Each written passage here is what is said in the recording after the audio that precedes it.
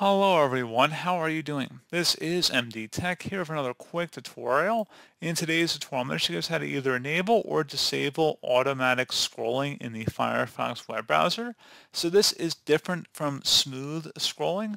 Auto scrolling basically means that by clicking the middle mouse scroll wheel button on empty space on a website, that will make the auto scroll icon appear.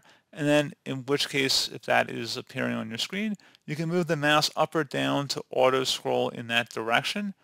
And smooth scrolling can be a little bit more resource intensive on your computer as opposed to auto scrolling but a benefit is it's a little less jumpy. Um, as some people might describe it on your screen, it will be a little bit more of a smooth experience as the name would suggest.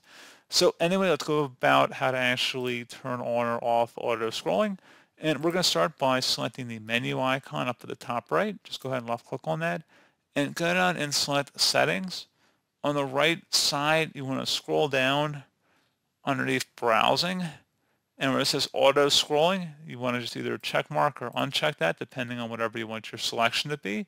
And like I said, you also have an option for smooth scrolling in here as well.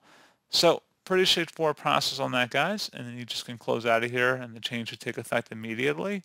So as always, thank you for watching. Do hope I was able to help you out. And I do look forward to catching you all in the next tutorial.